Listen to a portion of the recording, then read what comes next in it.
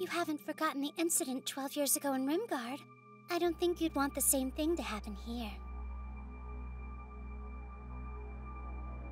Because you've gotten close to somebody too, haven't you?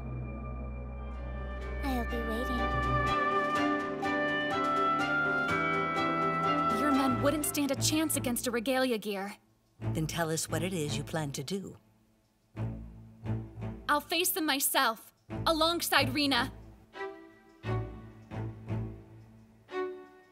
I have a sacred duty I must uphold, and that is to protect my people, to put their needs before my own. But if I were to let go of Rena without a fight, not only would I lose someone precious to me, I would fail. I wouldn't be able to be the leader Enastoria needs.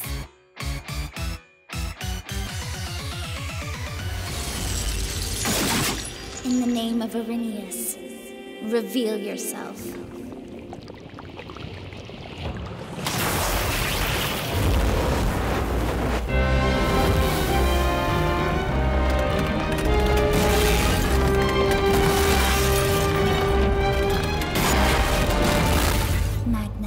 Electo.